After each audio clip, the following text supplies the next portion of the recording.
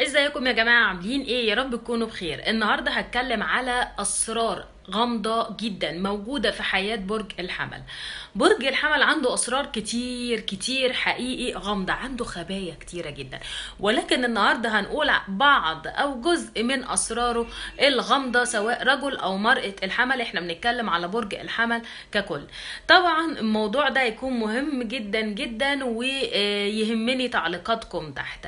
عامة خلوني أقول أول حاجة من الأسرار اللي موجودة أو الأسرار الغامضة الموجودة في حياة برج الحمل. وهي أول حاجة إن برج الحمل بطبيعته متهور ومتوتر ودايما بيكون جواه حالة قلق. خوف خوف من إن هو يظهر مش بثبات انفعالي. خوف إن هو يظهر بالتوتر اللي جواه للعالم الخارجي أو الأشخاص الخارجية. طبعا عايزه أقول لكم إن برج الحمل من النوع اللي بياخد وقت كبير وبيحارب جد جدا من جواه بيحارب داخليا حقيقي عشان يظهر قدامك بالثبات الانفعالي اللي هو بيحاول إن هو يكون بيه قدامك عادي. عايزة كمان أقول حاجة إن برج الحمل برضو ده من ضمن أسراره إن هم بيتكسفوا جدا جدا.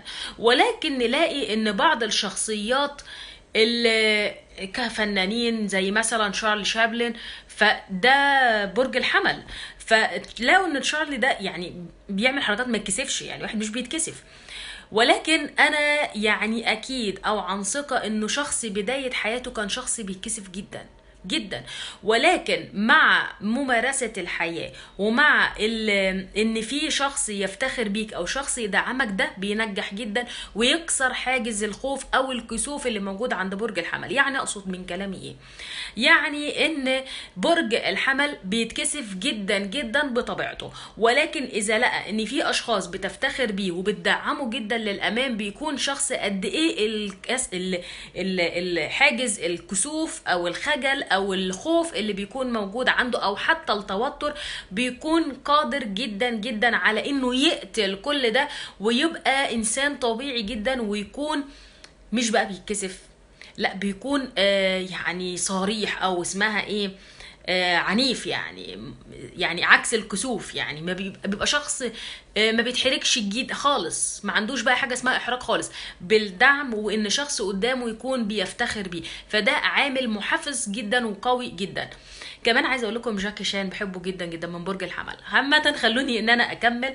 آه في برضو أسرار تانية موجودة عند برج الحمل وهي إنه شخص عاشق للأناقة. شخصية شخصيات بتكون شيك قوي أو ان هم بيحبوا الاناقة مش في شكلهم وبس. يعني هم كشكل بيحبوا جدا النظافة.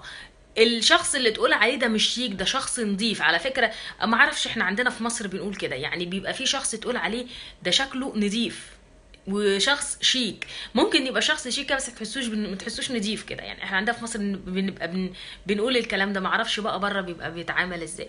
ولكن عامة بيحبوا جدا جدا النظافة بيحبوا جدا الترتيب بيحبوا جدا الأناقة الشياكة البرستيج في شكلهم في, ش... في طريقتهم في بيتهم آه في حياتهم. دايما بيحبوا التحف بيحبوا الحاجة من الآخر كده الحاجة اللي تتقال عليها.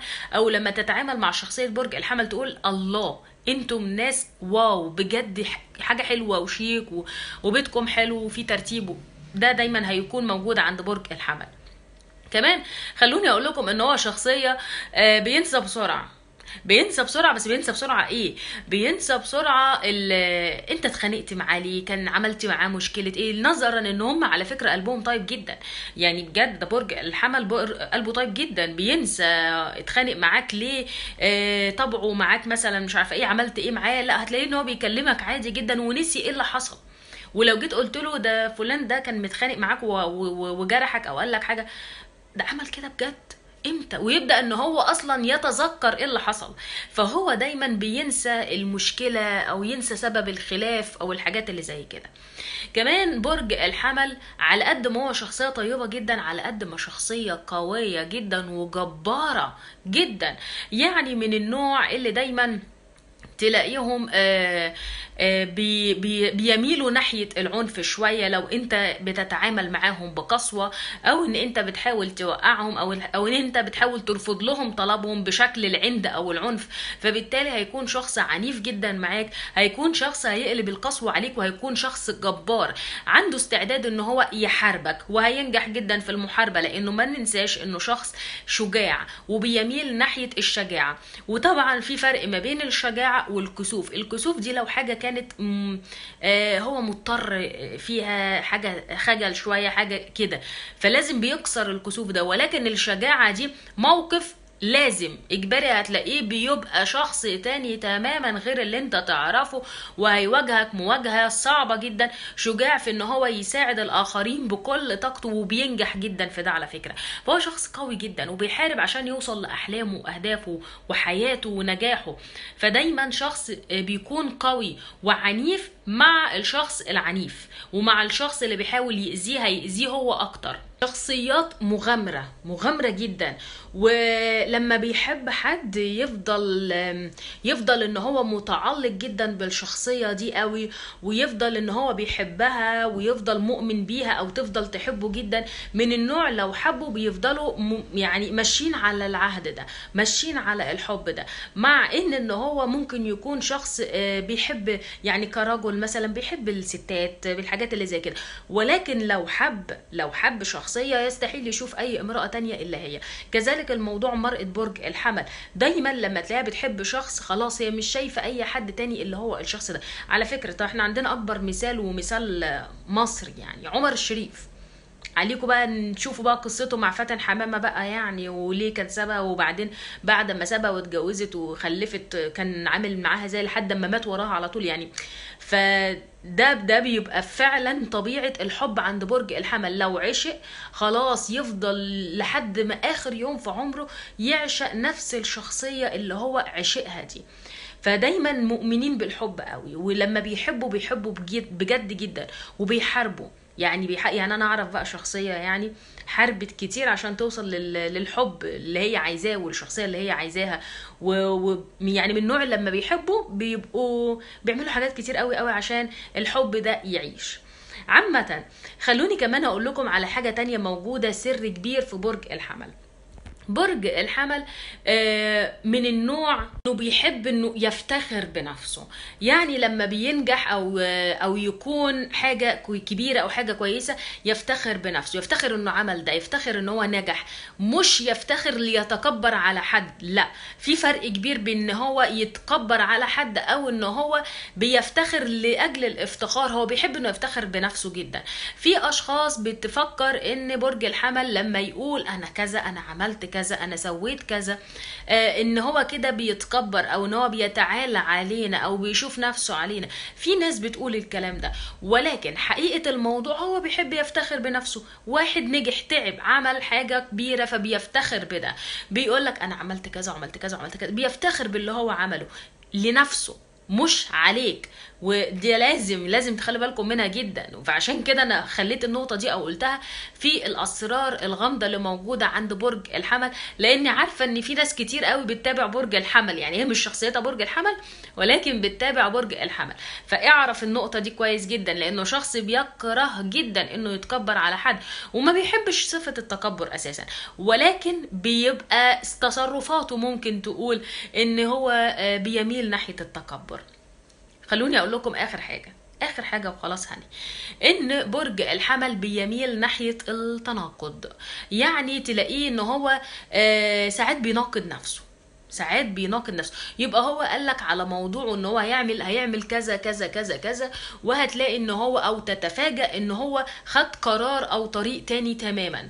آه لما بيتكلم مع حد بيبقى طريقة دماغه لفت شوية فأبدأ إن أنا أفكر بشكل تاني أو حد جه قال لي غير لي طريقة تفكيري.